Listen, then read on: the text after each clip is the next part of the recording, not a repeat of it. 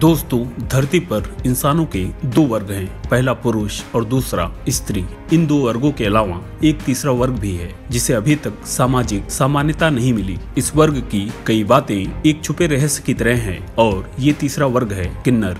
किन्नर अधिकतर तभी दिखाई देते हैं जब घरों में कोई शुभ कार्य हो रहा होता है। जैसे कि नई शादी होना या फिर बच्चे का जन्म होना। ऐसे मौकों पर किन्नर घरों में आते हैं, आशीर्वाद देते हैं और साथ ही दक्षिणा के रूप में कुछ पैसे भी लेकर जाते हैं। किन्नरों के जन्नांग पूरे जीवन भर विकसित नहीं होते हैं। किन्नर जन्म से मृत्यु तक एक ही जैसे रहते हैं। दोस्तों, क्या आप लोगों को पता है, किन्नर नवजात बच्चों को गोद में लेकर ही पहचान लेते हैं कि वो स्त्री है या पुरुष? दोस्तों, आपको जानकर हैरानी होगी कि किन्नरों को मारने के बाद जलाया नहीं जाता है, बल्कि उन्हें दफनाया जाता है। किन्नर भी दो प्रकार के होते हैं, स्त्री किन्नर और दूसरे पुरुष किन्नर। स्त्री किन्नर में मर्दों जैसे लक्षण होते हैं और पुरुष किन्नर में स्त्रियों जैसे। ऐसी मान्यता है कि किन्नरों की दुआ में बड़ी ताकत होती है और किन्नरों को दान देने से बड़े बड़े पुण्य काम हो जाते हैं। दोस्तों, क्या आपको पता है, अगर आप धन की कमी से जूझ रहे हैं तो किन्नर से एक रुपए का सिक्का लेकर अपने पर्स में रखें। अगर किन्नर आपको सिक्का दे दे तो उसे हरे रंग के कपड़े में लपेट कर अपने पर्स में रखें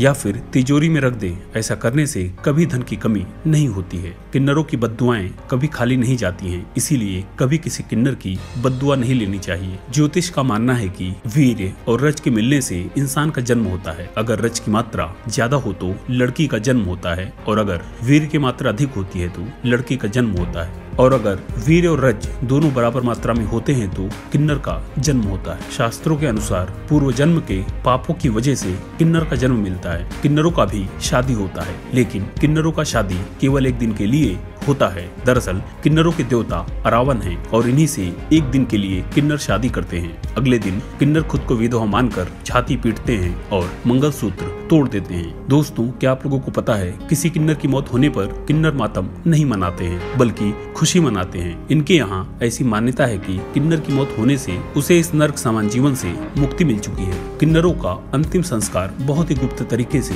किया जाता है। इनके यहाँ मान्यता है कि अगर किसी ने किन्नर के शव को देख लिया तो अगले जन्म में इसे फिर से किन्नर बनना पड़ेगा। इसीलिए किन्नरों की शव यात्रा रात में निकाली जाती है। दोस्तों, आपको जानकर हैरानी होगी कि किन्नर की मौत होने पर उसके शव को जूते और चप्पलों से पीटा जाता है और ये भी इनकी एक परंपरा है। तो दोस्तों, ऐसी रोचक जानकारी के लिए वीडियो को लाइक करें, चैनल को सब्सक्राइब करें। धन्यवाद।